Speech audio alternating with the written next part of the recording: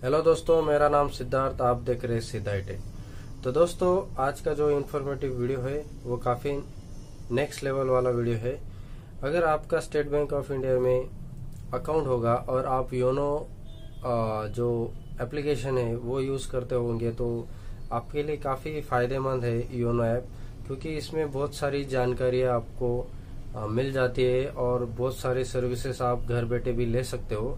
तो एक सर्विस की बात करते हैं, जैसे कि आपने थंबनेल में देखा होगा कि पब्लिक प्रोविडेंट फंड का जो भी आपका अकाउंट होगा, अगर एसबीआई में तो उस अकाउंट का आप स्टेटमेंट जो रहता है, ई स्टेटमेंट आप कैसे ले सकते हो?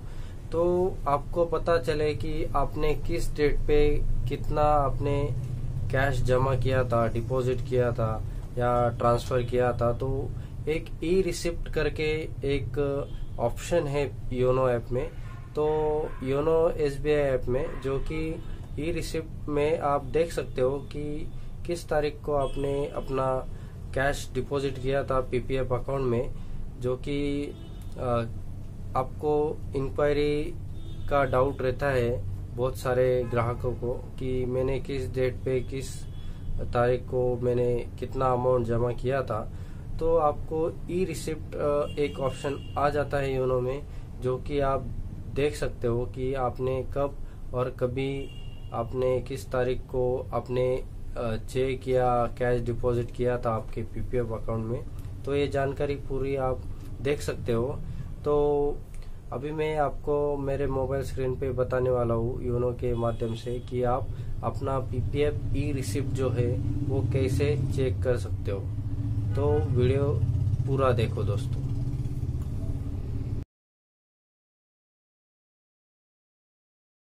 देखिए दोस्तों, अभी आपको अगर ई रिसिप्ट चाहिए पीपीएफ अकाउंट की तो सिंपली आपको योनो, आप लॉगिन करना है आपको योनो का।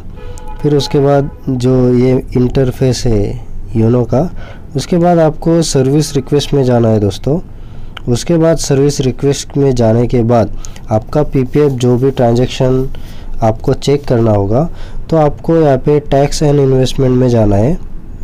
जैसे ही आप टैक्स एंड इन्वेस्टमेंट में जाएँगे, उसके बाद प्रिंट पीपीएफ ई रिसिप्ट तो यहाँ पे क्लिक करना है सेकंड ऑप्शन पे।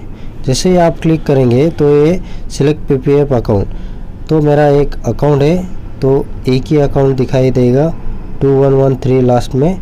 तो उसके बाद आपको क्या करना है, जिस तारीख से आपको ट्रांजैक्शन देखना है, उस तारीख से लेके आज तक आज के तारीख तक, जो भी आपको पीरियड ऑफ़ स्टेटमेंट देखना है तो आप देख सकते हो दोस्तों. तो मुझे समझिए, मुझे एक साल का स्टेटमेंट चाहिए। तो मैंने फेब में अकाउंट खोला था 2019 तो मैं समझिए 10 तारीख को मैंने खोला, उसके बाद ओके कर देना है। और एंड डेट यानी कि आज का डेट डाल दीजिएगा, आज तक का। जो भी आपका ट्रांजैक्शन रहेगा दोस्तों तो यहाँ पे नेक्स्ट करेंगे, जैसे ही तो ये देखिए select the transaction to view the details ये रेफरेंस नंबर और आपने कितना कैश जमा किया था, मैंने देखिए, तीन जैन को थाउज़ेंड रुपीज़ जमा किया था मेरे पीपीएफ के अकाउंट में। फिर उसके बाद पाँच दिसंबर को थाउज़ेंड रेफरेंस नंबर जनरेट हो रहा और मोर डिटेल्स चाहिए तो यहाँ पे एरो पे क्लिक कर लिए और उसके बाद रिव्यू द डिटेल्स तो यहाँ पे मेरा नाम आ गया। अकाउंट नंबर आ गया पीपीएफ का। ट्रांजैक्शन डेट आ गया रिमार्क्स आ गया बाय ट्रांसफ़र तो मैंने ट्रांसफ़र किया था। तो यहाँ पे बैक करना है। तो समझिए मुझे और देखना है मेरा पीपीएफ का डिटेल्स तो यहाँ पे देखिए रिव्यू द डिटेल्स आ गया पीपीएफ प्रिंट ई रिसिप्ट का। तो यहाँ पे अकाउंट नंबर नाम अमाउंट तो यहाँ पे रिमार्क्स में देखिए चेक डिपॉजिट किया था मैंने, जो कि इस अकाउंट के लिए। तो फोर थाउज़ेंड सिक्स हंड्रेड का। तो ऐसे इंक्वायरीज आप कर सकते हो घर बैठे बैठे।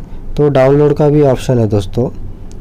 तो ये file downloaded to internal storage जो भी आपका फ़ाइल मैनेजर का इंटरनल स्टोरेज है, उसमें ये एक फ़ोल्डर सेव हो जाएगा।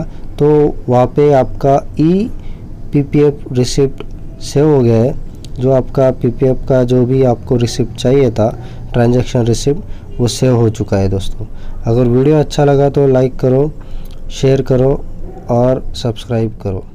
धन्यवाद।